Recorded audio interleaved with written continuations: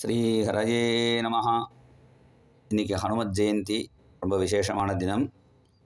அவருடைய ஒரு ஸ்லோகத்தை சொல்கிறோம் அவரே சொன்ன ஸ்லோகம்.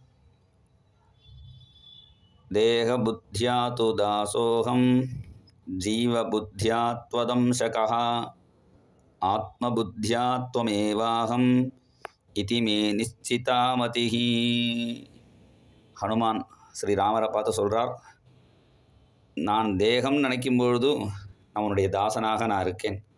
தேக புத்தியாது தாசோகம். நான் என்னை ஜீவன் நினைக்கும் பொழுது உன்னுடைய அம்சமாக நான் என்னை நினச்சிக்கிறேன்.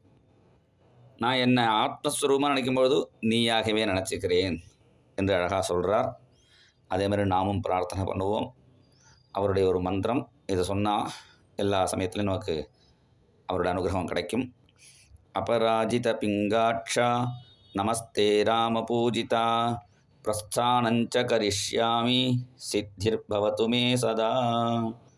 श्रीहरये नमः।